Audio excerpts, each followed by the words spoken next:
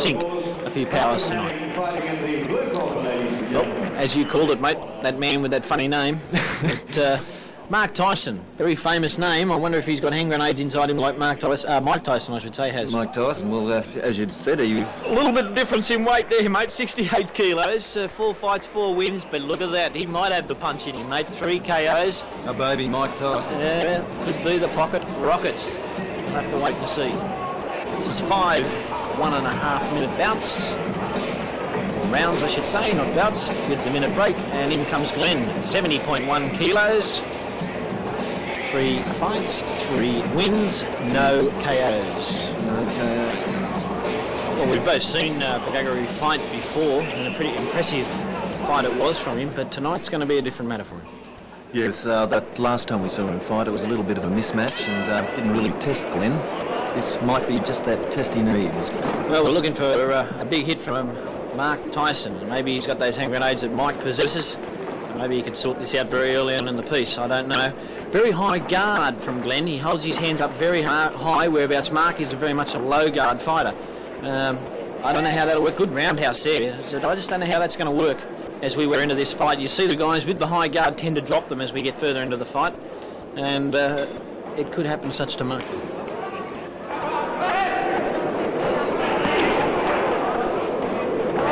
Boys are just feeling one another out here virtually, just checking out the style. A couple of kicks coming in. He's just swapped for a very different camera angle then. Oh, that was a good tag. He tagged him with that left then. Tyson walked straight into that.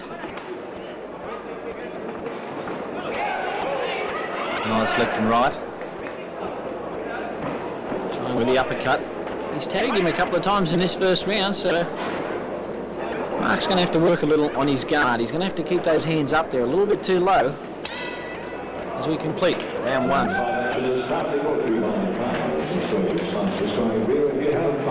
But that is an interesting point. These um, fighters who come in with the low guard uh, are leaving themselves open for a big hit, and uh, those who have their guard high up in the earlier on in the fight, uh, they tend to drop it later on in the fight as uh, their energy is zaps. Well, Steve Skibberus, who was uh, in charge of Malcolm Henning in the bout earlier, will be looking for Glenn to try and resurrect the pride of his gym at the moment. And uh, a lot rests on Glenn at this point in time. As we come out for round two. Glenn's still got that high guard. Mike Tyson is just sort of trying to combat it. Oh, snuck that through then. But uh, these two boxers are well matched, actually. Working on the thigh region there. Of, uh... Greg, I've noticed a lot of uh, kicks do land on that thigh region. These boys must have a lot of hamstring bruising at the completion of a fight. They do a lot of work around the thigh region, so uh, they, they, can absorb quite a bit of punishment around that area. But the, the idea of hitting around the thigh region is to um, work on the legs and make the legs, um, well, so they don't have any legs to stand. Therefore, right. the fight's over. Yeah. But uh, is there any sort of weight training that they can do to sort of like strengthen that area? Oh, just little squats and, uh, and of course the the best way to get um, harden them up is to take kicks on them. Hard way to do it. Hard way to do it. Well, the boys are still working one another out. Oh, good right. Great right from Tyson. He actually wore the kick, but he uh, gave a beautiful right over the top. But right over the top of Glenn's guard. McGregor going to have to work this one around. Got him back in the blue. Missed with that uppercut. A little bit of a combination left and right coming in now. And Mark Tyson is back and he's hanging on for grim death at the moment. Glenn snuck quite a few amount of those punches right through the guard. And as I said earlier in the fight, very low guard hanged on by Mike, Mike Tyson, and that's going to be tough for him. Okay, completion of the round. Let's go back to the corner. Glenn in the blue. Was Mark in the red. Alex Tilley up against Cash, the Flash Gill. Second time round till he fought Gill in England. Lost that one. Hopefully, as you said earlier, home turf here at the Homebush Centre will change all that. Centre ring as we complete, or start, should I say, round three of our five round fight tonight.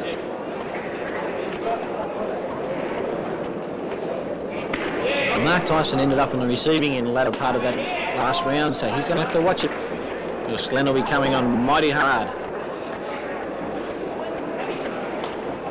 Glenn's got the reach. He should be using it a little more. He's got a, a great guard. He holds his uh, hands up high, and of course it's very hard to get a, a hit in with a guy like that. There's a nice reverse turning kick from Mark Tyson. Of course, it didn't hit the mark. Luckily for Glenn. Very few boxers can get that actually into, into gear and make it work for them, can they? Well, usually reverse turning kicks are used when the, the other fighter's um, dead on his feet, and uh, it's usually a finishing off kick. Because if you get hit by one of those, that is, it's usually... There's a lot of body weight behind it, isn't it? A very, very, very powerful kick.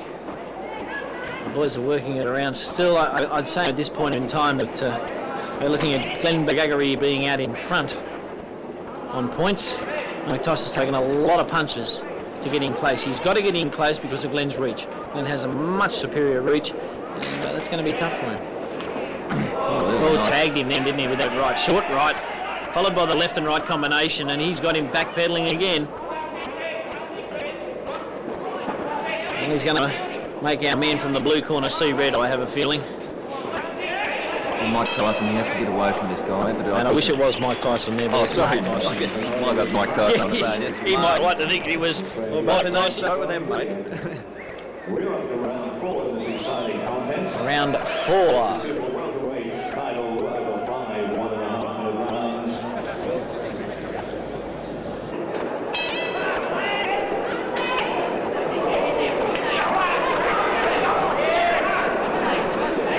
Once again, the fight's starting. It's, it's just the same scenario as the first three rounds. It's like Glenn thrusts that uh, front kick out there and then moves in with the hands.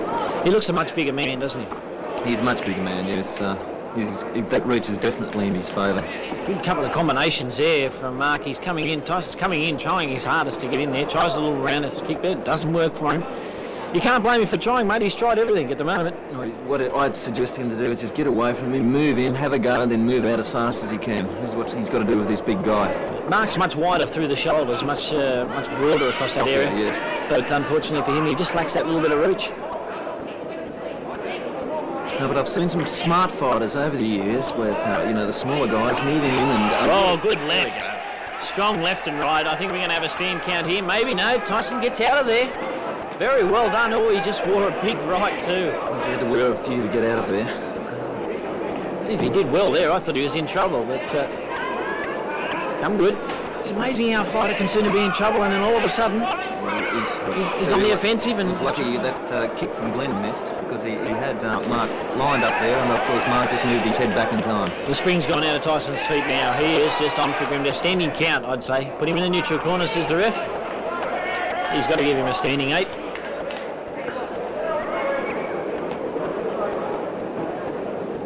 Gary just sucking in those big breaths as the bell sounds for the completion of round four and not a second too soon. I'd say for Mark Tyson.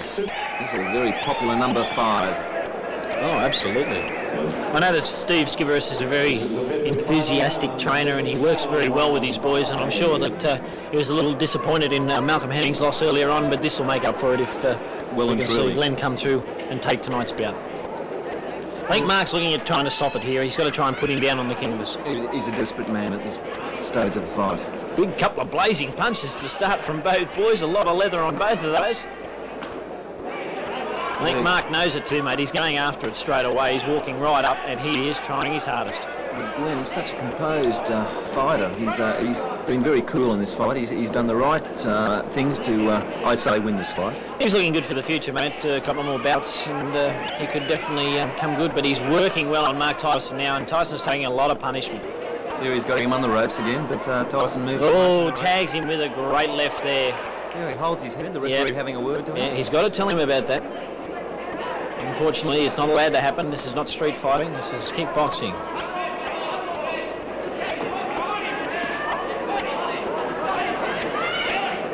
He's definitely got the measure here tonight, unfortunately for Mark Tyson. Him thrusting that uh, left out there, his left hand, and of course um, Mark Tyson just hasn't had an answer for it. It's interesting to know too, Mark Tyson trains himself, and that's a big ask on anyone today. It's like being a captain coach of a, of a sporting team. It's a big ask. You've got to assess yourself, you've got to push yourself.